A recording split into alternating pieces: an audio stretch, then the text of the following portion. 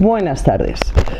Bueno, eh, ya veis que, hoy tenemos flor incluida en este episodio de, del Caparazón Insight. Ha venido mi madre y me la ha traído.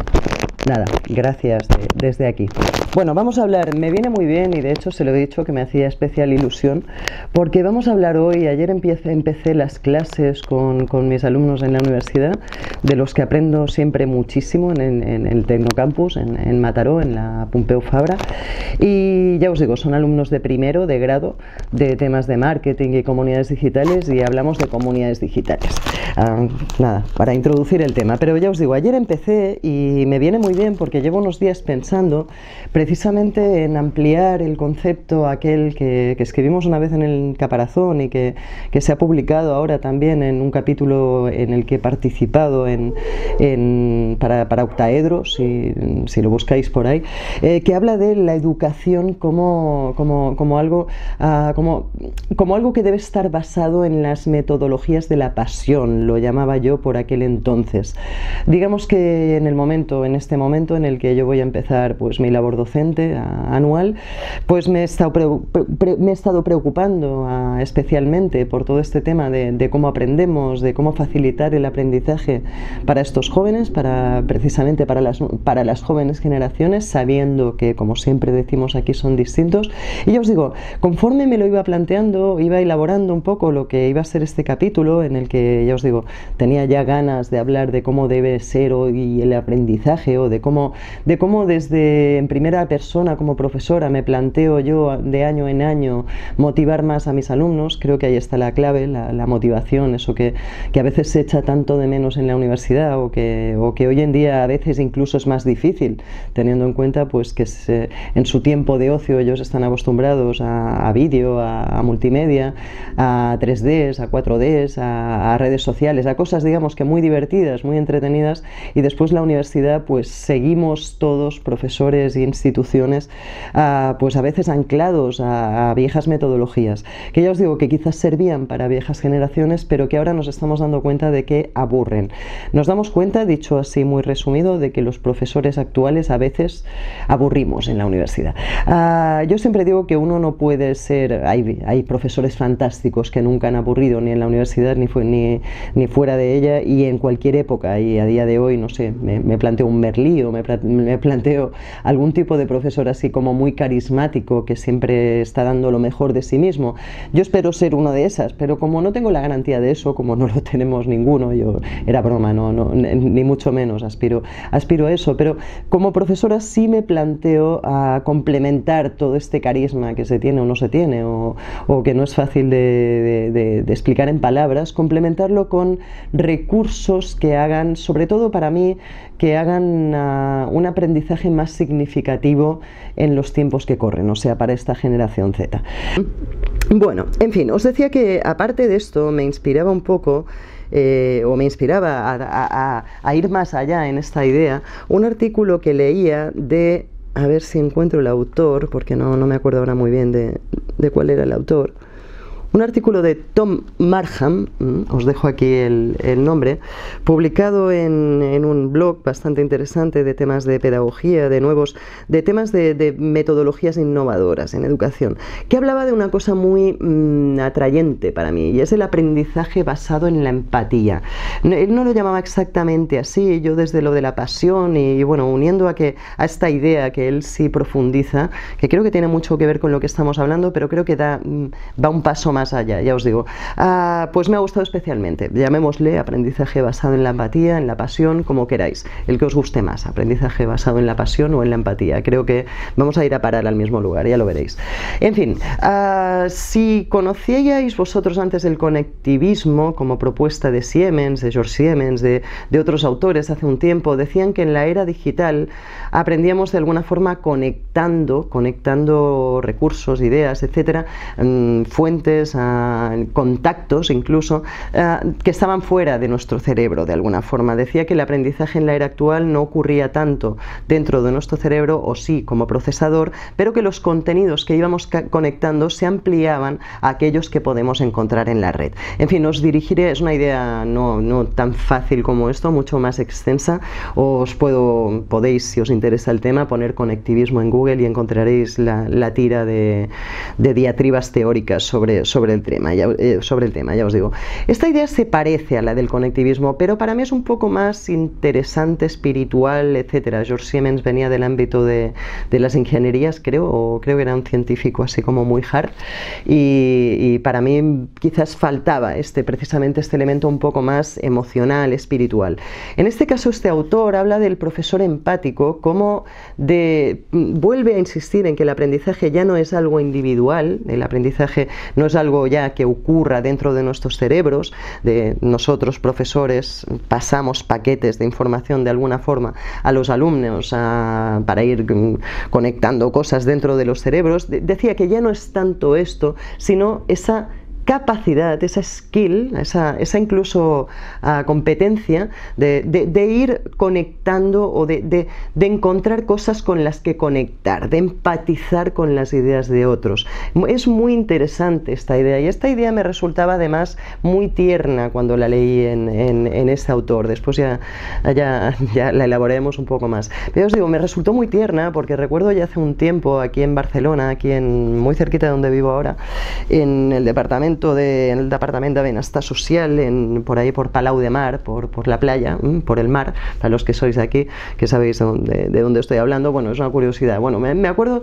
a lo lejos, me, estaba yo allí en una reunión, no sé qué historia, y a lo lejos apareció un chaval jovencito, unos, mm, yo diría que unos 10 años máximo, venía corriendo hacia mí y venía como Dulos, Dulos, Dulos, y pensé, mmm, su profesora se llama Dolores, el niño se ha perdido y, y se ha equivocado y se dirige a mí. En fin, me, me creí que se estaba equivocando porque venía como conociéndome. La verdad es que no, no trabajo con niños, trabajo con adultos, con lo cual me, me extrañó. En fin, llega el chaval, yo hacía como 3-4 semanas había aparecido aquí en Cataluña, en TV3, en, en el programa Singulars, en un programa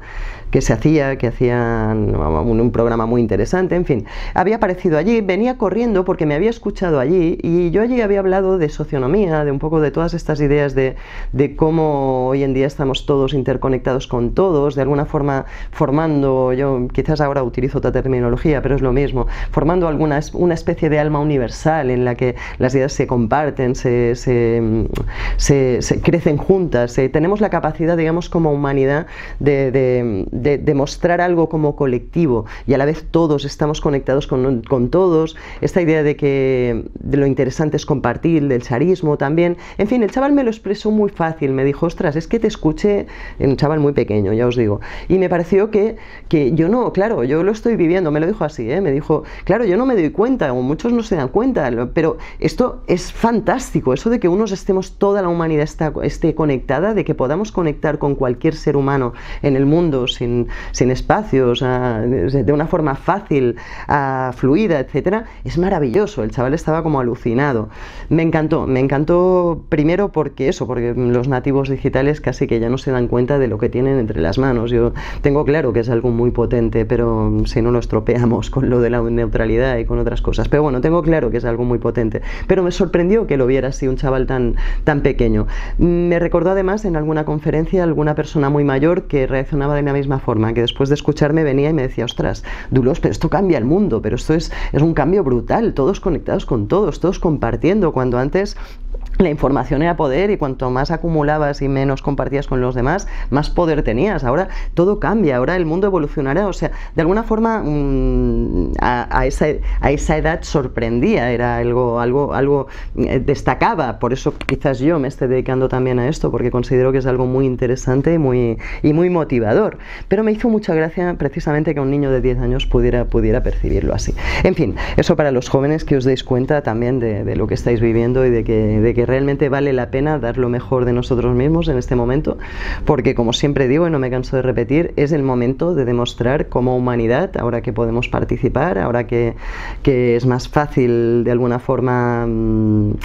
a ser micromundos, que decía hace poco, o ser, actuar como microagentes de, del, del, espíritu del planeta, de, en general de la evolución de, del ser humano y de las culturas y de, todo, de la ecología, del planeta en general, ahora que tenemos la oportunidad, vale la pena pues, pues aprovecharla. Eso se lo digo siempre a los jóvenes, que no saben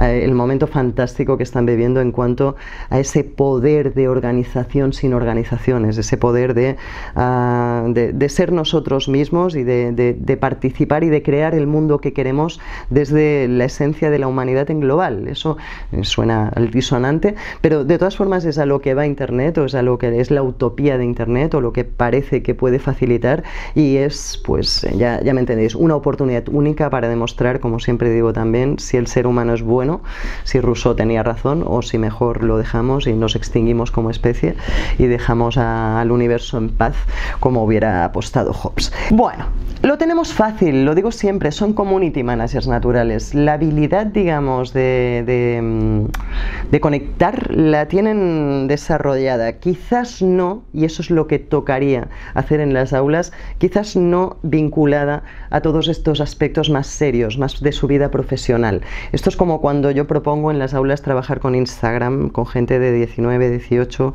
17, 20 años. Ah, me encuentro con todo tipo de resistencias, pero les recuerdo que precisamente en el espíritu de, la web 2.0 está el ser más nosotros mismos en lo profesional, con lo cual no les debe dar vergüenza compartir cosas profesionales en, sus perfiles de Instagram y también todo lo contrario, también está el, ah, el, en el ámbito privado a veces también nos mostramos un poco, como al final estamos trabajando en muchos casos con cosas que nos apasionan o cuando hacemos algo que nos apasiona, la verdad es que la frontera entre lo personal y lo, y lo profesional ya se, se diluye. En fin, uh,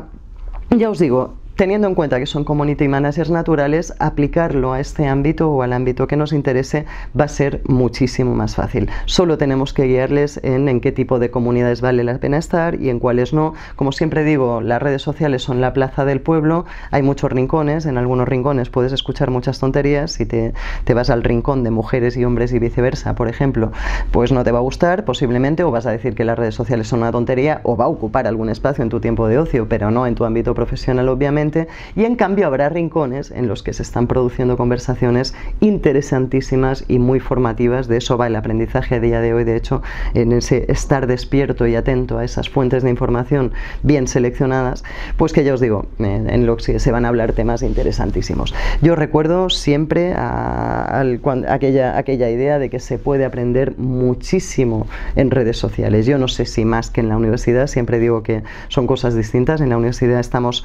poniendo los cimientos de alguna forma, proporcionando una buena base, digamos, aprovechando los hombros, los hombros de los anteriores gigantes, como dice la expresión, y después es interesante que en estas redes proporcionemos fuentes para que en un futuro la gente se desarrolle, obviamente, hacia donde quiera. O sea, en la universidad damos la estructura, en las redes sociales estamos proporcionando fuentes, a recursos, añadidos, para que después cada edificio, si seguimos con la metáfora, será distinto, pero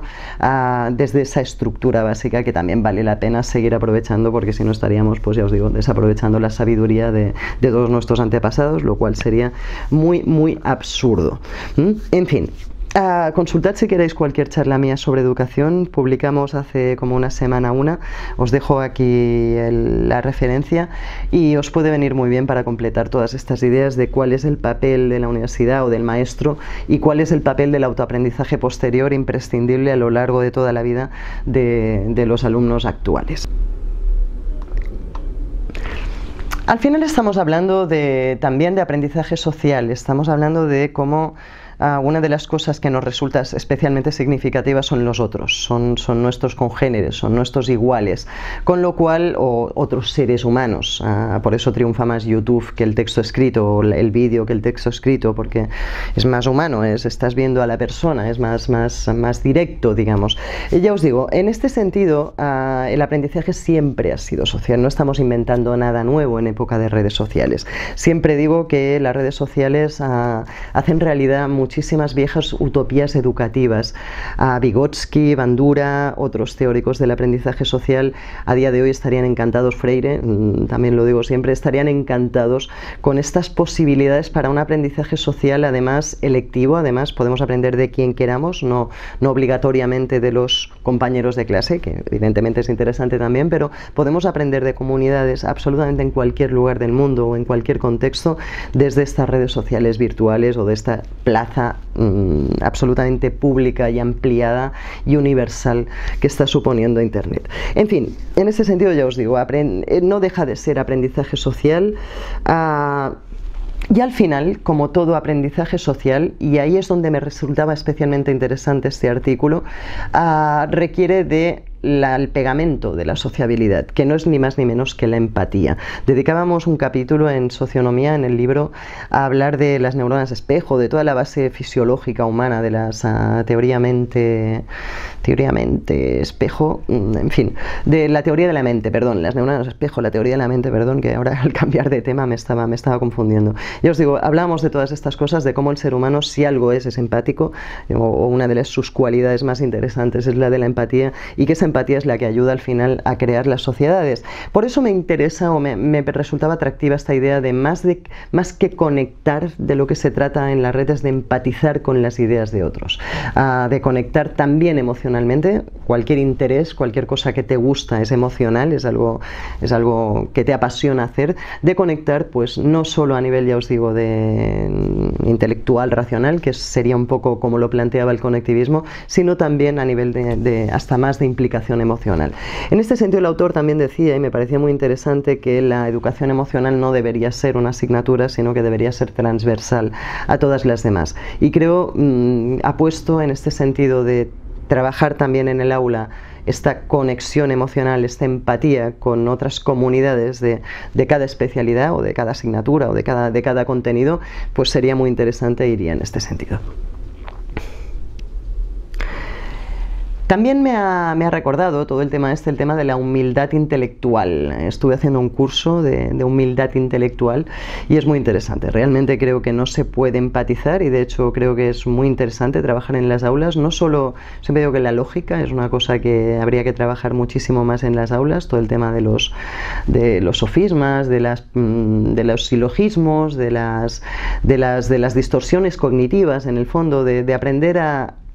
a no equivocarnos tanto desde el conocimiento de cuáles son las equivocaciones típicas del ser humano. Un poco, creo que esto es interesante, pero también es muy interesante ese trabajo de la humildad intelectual, que creo que debe ir conjunto a la empatía. Bueno, no, no creo que pueda haber empatía sin humildad. Cuando uno está dispuesto a ponerse en el lugar del otro, por, por seguir una definición de empatía común, es porque no tiene, tampoco es que se considere por encima de nadie. Si uno va de superior, obviamente no podrá empatizar con nada ni con nadie, o solo con los que él también considere superiores. Yo siempre digo que he aprendido muchísimo, muchísimo, muchísimo de gente de todas las, y eso también es parte de esa empatía intelectual, emocional o como queráis llamarle, que hay que trabajar, de gente de todas las culturas, de todas las edades, de todos los géneros, de todas las procedencias, de todas las clases y niveles sociales, etcétera, desde, desde presos desde internos en, instituciones penitenciarias que a veces provenían de, ámbitos ah, socioculturales no demasiado pudientes, digamos, hasta gobiernos con los que he trabajado. O sea, realmente he aprendido cosas allí y aquí y en, y en cualquier lugar en el que he estado en este mundo. Creo que eh, desde esa humildad intelectual puedes, ah, puedes, ser, puedes enriquecerte mucho. Como maestro, de hecho, esa humildad intelectual hará que aprendas mucho de tus alumnos, lo cual es ah, fantástico y maravilloso. Bueno, en fin, eso no es nada más que el no solo sé que no sé nada, tampoco inventamos nada demasiado nuevo, pero bueno, dicho en palabras modernas y, y de la psicología actual de alguna forma. En fin, como resumen, al final se trata de conectar mm, con tres, conectar desde la empatía a empatizar desde tres ejes fundamentales. El primero, como profesores, conectar con nuestros alumnos. Creo que es importante ah, darles, volcar nuestra experiencia profesional, pero también intentando adaptar todo eso a las necesidades particulares de cada cual, cada vez más, si no lo podemos hacer en el aula porque tenemos, pues eso, 200 alumnos o, los, que, los, que, los muchos que solemos tener, podemos también conectar en estos espacios virtuales, pero intentar conocerles, intentar conectar con sus, con sus peculiaridades en la medida de lo posible, vuelvo a, insistir. Segundo, conectar o ayudarles a empatizar a ellos o a conectar con las comunidades, a desarrollarse socialmente, a integrarse, a seguir, a participar en las comunidades profesionales de cada sector, en ayudarles también a conectar en ese sentido. Y en tercer lugar, conectar el aula, lo que hagamos en el aula, con el exterior, conectar el aula con con, trabajos o con proyectos ah, reales, el Learning by Doing, sobre proyectos reales de, que, puedan cambiar cosas reales, que, les hagan ya sentirse protagonistas ah, en su profesión desde la universidad, también aprovechando, ya os decía, tanto datos como, como todos los recursos que pone la web a nuestra disposición en ese sentido. Veis que empieza la hora gatuna, mm, nos van a dejar terminar, pero, pero justito. En fin, muchísimas gracias por acompañarme hasta ahora y hasta la próxima semana espero pediros disculpas esta con todo lo de empezar las clases y tener que adaptar, preparar y ajustar y, demás, pues he andado un poco más, más, más ocupada que de costumbre, pero vamos, que vamos a intentar ser puntuales los martes. No lo consigo, ya lo sabéis, pero bueno, mm, a veces caen dos a la semana, aunque no sean martes. Parece que parece el contrario, parece que haya una especie de maldición desde que decidí publicar los martes y cada martes me pasa lo mismo y, es que sal, en fin, se, retrasa algún par de días más. Os adelanta, ya os digo. O sea que, eh, no me rollo más. Bueno, no habíamos tenido excesivos gatos hasta ahora, pero, pero ya veis que se acabó. Y ahora ya veis que la rosa empieza a empezar a tener un poco de mal pronóstico de la mano de Casimiro, este gato que ya algunos de vosotros seguro que conocéis y que si no, seguro, seguro que vuelve a interferir en algunas de las grabaciones de este espacio. Un abrazo muy fuerte, escribió un libro, las, eh, cómo ser YouTube y tener gato y no morir en el intento. Un abrazo muy fuerte.